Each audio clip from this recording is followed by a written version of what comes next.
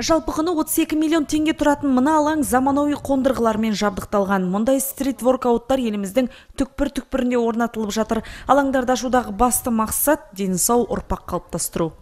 Ақмола облысы дене шынықтыру және спорт басқармасы былтыр менің ұсынысым бойынша ә, бізге қаражат бөлініп, жалпы қаражаты осы стрит воркауттың қаражаты 32 миллион 8 мың теңге. Біз ә, осындай спорт ғимараттарын, алаңдарын ашуға ә, атсалысудамыз.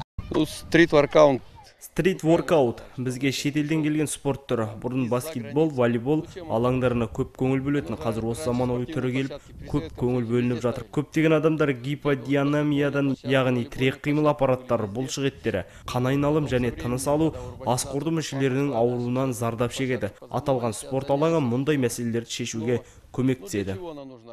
Алаңда соңғы үлгідегі турникеттер орнатылған әсіресе мұндай жабдықтарға жасөспірімдердің қызығушылығы жоғары. Қазіргі таңда елуден астам тұрғын келіп жаттығып жүр. Жансұлу Женқол, Марат Ахметжанов, Әнуар Нығметжан, Көкшақпарат.